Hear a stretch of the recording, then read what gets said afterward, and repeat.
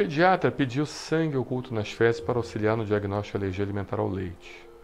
Ele infelizmente veio positivo. Será que realmente meu filho está com alergia alimentar? Olha, é, o pediatra certamente fez isso com as melhores intenções, entendeu?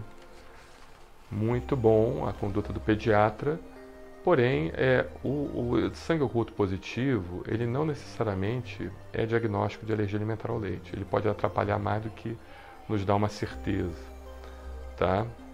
Mas o pediatra, coitado, ele está querendo se cercar de cuidados e, de certa forma, entender melhor como é que está o organismo seu, né? E saber se há algum outro problema também, fazer os diagnósticos diferenciais.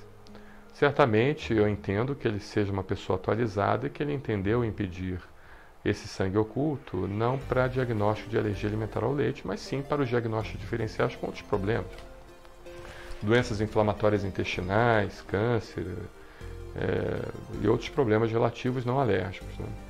Tá bom? Mas alergia alimentar ao leite é o teste padrão ouro para diagnóstico de alergia alimentar ao leite. É o teste de provocação oral.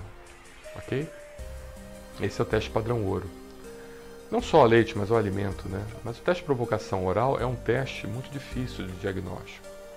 É um teste realmente que nós precisamos é, fazer isso numa unidade preparada, porque a chance do paciente desenvolver uma reação colateral é muito grande. Tá bom? E tem que também entender qual tipo de alergia ele tem, se é IgE mediado, se não é IgE mediado, tá bom?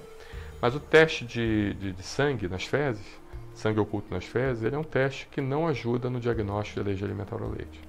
Ele pode ajudar em outros diagnósticos, mas não específico para alergia alimentar ao leite, tá bom? Padrão ouro para diagnóstico de alergia alimentar ao leite é o teste de provocação oral. Ok? Um abraço, obrigado.